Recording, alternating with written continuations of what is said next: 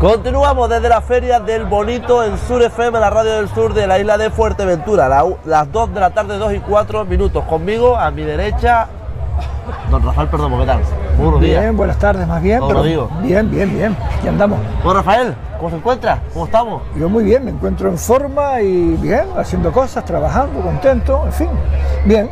Lo estuve viendo el otro día en Radio Sintonía y le comentaba antes lo bonito y dice, se, pues se le ve con ganas. Ante otra vez también lo decía, ¿no? Que con mucha, con mucha pasión y con muchas ganas, ¿no? Sí, sí, sí. Bueno, yo siempre he sido una persona, eh, desde el punto de vista, siempre he sido constante, siempre he sido pasional y siempre a todo lo que hago le pongo interés y le pongo constancia y trabajo. De hecho, pues bien, como bien sabes, eh, yo cuando empecé en política empezamos de cero, y bueno, y hemos estado continuamente manteniendo un ritmo y un trabajo y en eso está la, eficacia, en la constancia y en la disciplina.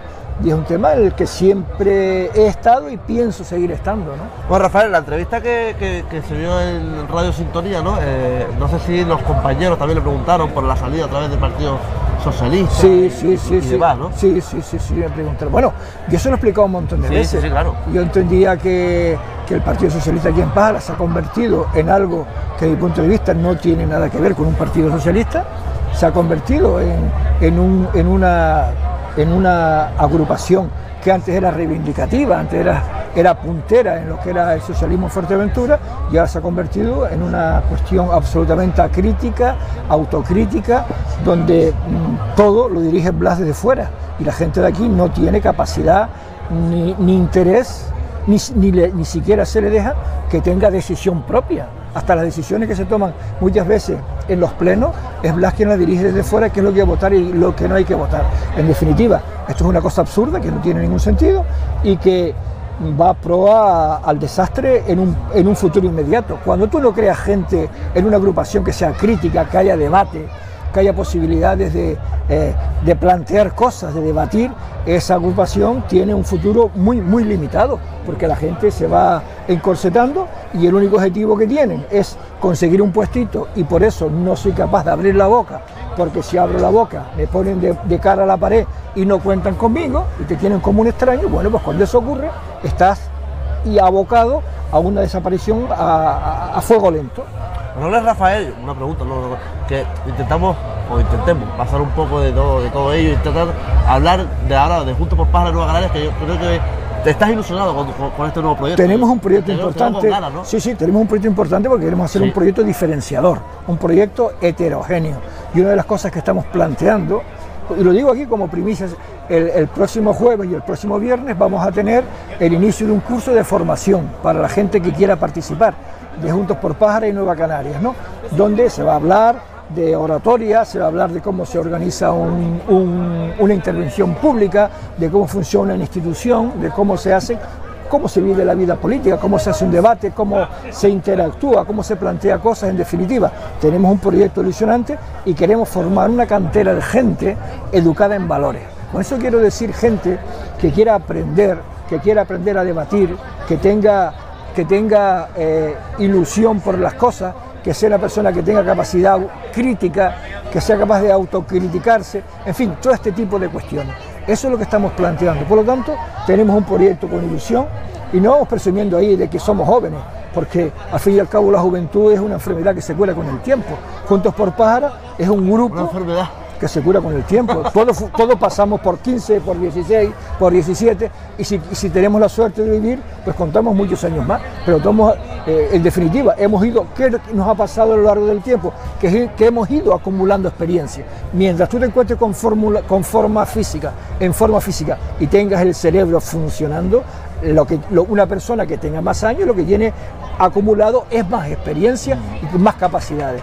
Por lo tanto, y ahora como el, con el el, promedio de vida ha ido aumentando de forma espectacular. Ahora una persona con 60, 50, 60 años está en su mejor época de madurez, cuando tiene fuerza física y experiencia. Y nosotros que tenemos Juntos por Par, y ahora en el programa junto con Nueva Canaria, tenemos un programa, eh, un grupo de gente heterogénea de diferentes edades, porque la sociedad no se compone solamente de gente mayor ni de gente ni de juventud, la sociedad se compone de varios tramos, hay gente de todas las edades, hay por haber. Yo creo que lo inteligente y lo racional es combinar experiencia con gente joven que vaya aprendiendo. Mm. Esa es la cuestión. Y eso es lo que ofrece nuestro grupo junto por Para en la coalición que tenemos con Nueva Canaria. Un grupo de gente, como el caso de Miguel Ángel o yo, gente que tenemos experiencia, que hemos rodado por la vida política, acompañado de un grupo de otras edades y otros jóvenes muy ilusionados también, que quieren aprender, que quieren integrarse en la vida política, pero integrarse en, eso, eh, eh, educándose en valores,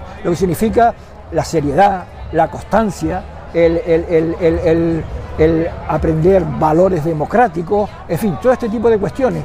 No el estar por un puestito, quítate tú para ponerme yo. Esa no es la cuestión. Ni eso es lo que queremos. Queremos eso, educar en valores para que la gente se prepare con perspectiva de futuro. Esa es la ilusión que tenemos nosotros, es Juntos por Pájaros en la Canaria, en esta coalición que estamos planteando. ¿Qué te ha parecido esta segunda, en esta segunda edición de la Feria del Bonito, Rafael? A mí me parece que la Feria del Bonito es una feria me parece interesante, la primera estuvo bien, esta creo que ha mejorado y creo que es algo de futuro y, que viene bien. Yo creo que, que, cada año va mejorando y esa es la idea, ¿no? Esa es la idea de que cada año mejore. Se va aprendiendo, se, se, va, se va cogiendo experiencia y luego cuando se coge experiencia, pues los fallos que se van cometiendo se corrigen, se aprenden cosas nuevas, nuevas ideas y al final va mejorando. A mí me parece que es extraordinario porque por una parte se promociona a los marineros. No hay que olvidar que estamos en Morrojable y Morrojable es un municipio marinero, a pesar de que ahora vivamos fundamentalmente de turismo, pero la esencia de este pueblo es un pueblo marinero. Eh, se potencia desde el punto de vista turístico y ayer en el tema del ronqueo del atún, yo estuve observando el tema, había una cantidad de gente de extranjeros viendo, sacando vídeos, sacando fotos y tal. Yo creo que es muy interesante y una de las cosas que se puede ofrecer, esta y otras cuestiones más, lo que era el tema de la cebada, el Campeonato del Mundo de Windsurfing, que es una cosa de las fundamentales donde se ha promocionado el municipio y la isla a nivel internacional. Esperemos que este año no se pierda porque, porque tal y como van las cosas, eh, la sensación que da es que nos han pedido los permisos. Y si el grupo actual de gobierno no es capaz de preparar todos los permisos para que se inicie el campeonato, los correspondientes convenios y tal, pues cuando el, próximo equipo que entre, que entrará a mediados de junio, pues no va a tener tiempo de resolver el tema. Por lo tanto, yo creo que, que hay que insistir bien, porque este campeonato es una cuestión que no se puede perder. Pájara no se puede permitir el lujo de perder un campeonato de estas características con lo que costó. Eh, llevarlo a cabo y, lo, y el nivel que ha ido cogiendo, porque cada año se mejoraba. Creo que esta correspondía a la 35 edición. Claro que sí. Y entonces, por lo tanto, yo creo que hay mucha experiencia, hay mucha historia y hay mucha promoción que esperemos que, que se vuelva a recuperar. Rafael, ¿qué te parece el proyecto que se presentó en la noche de, ayer, ese proyecto de, Mata, de Mata Blanca? Hombre, yo lo que vi aquí, yo me quedé decepcionado porque pensé que se iba a presentar algo más, algo más interesante. Lo de la duna me parece ya de entrada un disparate que no hay por dónde cogerlo. Son machangos en las dunas y tal. Las dunas no hay que tocarlas. Las dunas ya por sí es un espectáculo, ya por sí es una obra de la propia naturaleza. No hace falta mejorarla. Mejorarla, hacer cualquier otra cosa es empeorarla. Por lo tanto hay que dejarla como está. Punto uno. Mm. En lo otro, no me parece ni mal ni bien, porque lo que se explicó fue muy pobre, muy pobre. Yo pensé que había más, estaba un poco más elaborado. Pero bueno, yo no digo no porque no tengo, no tengo, digamos, suficiente elemento de juicio para valorar la cuestión. Lo que sí me parece es que, primero, no era el sitio adecuado para presentarlo, primera cuestión, y segunda, lo que se presentó me parece que es muy pobre, o sea, una cosa muy, muy, muy, muy, muy light. Me parece que, que tenía que, ser, que traerse un proyecto de esta característica un poquito más elaborado. Durante toda la legislatura, Rafael, se han quejado de que hay como mucho oscurantismo en el proyecto de Pájaro, como que se han querido llevar los proyectos muy en secreto cuando no es una empresa privada, sino una empresa pública, ¿no? Bueno, vamos a ver, eh, el ayuntamiento, una vez lo dije yo, no, no entiendo que se diga que hay una cláusula de confidencialidad confidencialidad. Una, institución pública no puede tener ninguna cláusula de confidencialidad. Todo el mundo, todos los concejales tienen derecho a saber toda la información que se maneja en el ayuntamiento. Y más proyectos de estas características, que requiere de una tramitación donde deben intervenir todos los concejales. Estos son proyectos que sacarse adelante habría que sacarlos por unanimidad a ser posible, o por lo menos reunir el máximo consenso posible. Porque ya que se saca a presentar esto ahora, si con la gente de oposición no se cuenta, si dentro de tres meses va a haber posiblemente otra composición diferente en el ayuntamiento. Por lo tanto, hay temas, por ejemplo, plan general, hay una serie de cuestiones que tienen que ser eh, consensuadas con toda la corporación a ser posible, porque trasciende lo que es eh, una legislatura, esto va con perspectiva de futuro.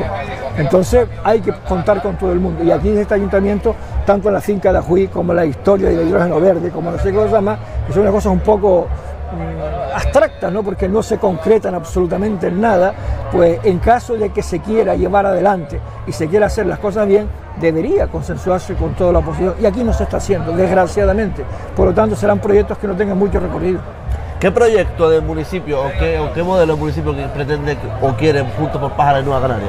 Bueno, nosotros tenemos, entendemos que Pájara eh, es verdad que lo que requiere fundamentalmente es terminar de una vez el plan general, que se han presentado. Nosotros presentamos en su momento dos planes generales y el problema es que no se aprobó, no en el ayuntamiento, que se aprobó en el ayuntamiento, donde no se aprobó fue en el gobierno de Canarias. Yo lo he dicho en diferentes ocasiones. No ha habido nunca interés por parte del gobierno de Canarias en que Pájara tenga un plan general donde pueda desarrollarse. Ha interesado más los lobbies, ha interesado más que se desarrolle en Tenerife que se desarrolle en, en Gran Canaria. ¿no? Por lo tanto, eso es una realidad evidente. Ahora bien, yo creo que ya es necesario, Pájara no puede seguir resistiendo sin tener un plan general en condiciones, porque hay una serie de cuestiones que hay que desarrollar. Tema fundamental, vivienda. Uno de los elementos fundamentales es el tema de vivienda. Para eso hay que, la Junta de Compensación del Plan Parcial a la Gita 2000, hay que desatascarla de forma inmediata. Eso está en manos del ayuntamiento. Y si no lo hace es porque no quiere, porque tiene la posibilidad, yo lo he planteado en diferentes ocasiones, de pasar de, de, una Junta de Compensación a hacer una, una junta, eh, una actuación en vez de cooperación forzosa y ya el ayuntamiento coger el toro por los cuernos y exigir que se desarrolle. Y luego nosotros tenemos un montón de proyectos aquí, muchos que dejamos terminados y otros que tenemos ya preparados para presentarlos para las próximas elecciones. Eh, el tema social, el tema de un nuevo instituto, el tema del Palacio de Congreso, eh, en fin, un montón de historias que iremos desgranando poco a poco a medida que vaya avanzando la, la campaña. Para el tema de vivienda tenemos tres o cuatro actuaciones importantes ahí preparadas que bueno, que esperemos que todo ello se vaya desarrollando. Poco a poco eh, va este caminar hacia las elecciones. ¿Cómo pretende, cómo cree que va a ser las elecciones de, este 28 de mayo de 2023? Rafael, ¿una elecciones limpias, tranquilas o cree que va a haber mucha, mucha guerra? Hombre, va a ser una, una elección yo creo que bastante, bastante competida. Va a haber eh, grupos, aunque algunos intenten o comentan que poco menos que se van a salir de la tabla. Ya llegará el día 28 y veremos lo que hay. ¿no? Yo creo que va a haber una, una situación bastante equilibrada en diferentes grupos, la diferencia no va a ser mucha de unos a otros, no va a haber mayorías absolutas por ningún lado y va a haber que pactar, y ahí está la cuestión, cómo se van a desarrollar esos pactos en, en, en, el 2028. Yo creo que, bueno, que habrá, ya digo, mucho, mucha discusión, mucho debate y espero que, que por lo menos las cosas vayan razonablemente bien, ¿no? Mm. Se planteen de una forma razonable. Eso por lo menos es lo que espero. Lo que sea, pues ya veremos, ¿no? Me imagino que una de las cosas que eh, da por perdida en esta legislatura y que será una de las batallas en 2023 al 2027 es esa fundación de Pepe Damas. Ah, bueno, eso me parece, me parece una falta de inteligencia, una falta de, de, de capacidad. Es decir, en cuatro años no han sido capaces yo dije eso terminado, el edificio terminado, lo que es el museo en sí. Eh, hay una cantidad de obra millonaria que está dispuesto a donar Pepe Damaso a Pájara por relación que ha tenido con Pájara y también por relación que ha tenido conmigo, esperando traerla para acá, cuando todos sabemos que si Pepe tenemos la desgracia de que se muera, esa obra no va a venir nunca a Fuerteventura. Y porque hay, insistiendo, el Ayuntamiento de, Las Palmas de Gran Canaria, el Ayuntamiento de Galdal, el Dagaete, en fin, hay un montón de ayuntamientos interesados en recibir la obra. Una obra importante que podía haber venido para acá, que era una obra dedicada a Pessoa, se la ha llevado la Universidad de Santa María de Guía, una obra que podía haber estado aquí si hubiésemos sido mínimamente diligentes, ¿no? O sea que por lo tanto falta ponerle el tema de, el tema de, la, el tema de, de la luz y simplemente pagar un contrato menor que aquí se hacen a porrillo para traer la obra y ponerla en el municipio de Pájara. Es decir, es una falta de visión. Siempre he dicho que, ese museo le va a dar vida a lo que es la zona de Pájara Casco, que es la zona que se ha, quedado descolgada de la parte turística. Y la conexión que siempre ha habido entre César Manrique y Pepe Damaso, es decir, entre la Lanzarote y Fuerteventura, conjuntamente con el Barranco de los Canarios, daría una visión importantísima a, la obra de Pepe aquí y cualquiera que viniese, que viene, mucha gente que viene a Lanzarote y vendría aquí a ver la obra de Pepe, de la misma forma que un montón de gente que, que pernota aquí en Fuerteventura va a Lanzarote a ver la obra de César en Lanzarote. Por lo tanto, es una especie de conexión, una especie de alimentación permanente entre una cosa y la otra. Por lo tanto, yo creo que no tener la suficiente capacidad para sacar algo tan elemental como eso, cuando ya está totalmente resuelto, me parece absolutamente lamentable. Dejación y visión política de futuro nula. Rafael Perdomo, eh, lo único que me falta por, comentarle es una de las eh, coletillas que pusieron una nota de prensa que decía que el Partido Socialista tenía el pacto había un pacto que le, llamaban el, pacto, de los eucaliptos. exactamente. Sí, sí, sí, ¿Usted sabe por, qué pusieron eso del, pacto de los eucaliptos? Porque eso se hizo de medianoche para el día, ¿no? En Pájara, en una zona donde hay debajo de un eucalipto, ¿no? Estaban ahí medio escondidos de noche, ¿no? Ahí pactando, pues José Cabrera, que sabemos que es el muñidor que tiene Blas Acosta para este tipo de cuestiones, eh, Sergio Lloré y Pedro Armas, ¿no? Bueno, y de ahí luego vino todo lo del y todas estas movidas que han habido después y se ve claramente la relación que hay entre unos y otros, ¿no? Entonces, a mí eso no me asombra porque sé cómo funciona este tipo de cosas y cómo funciona.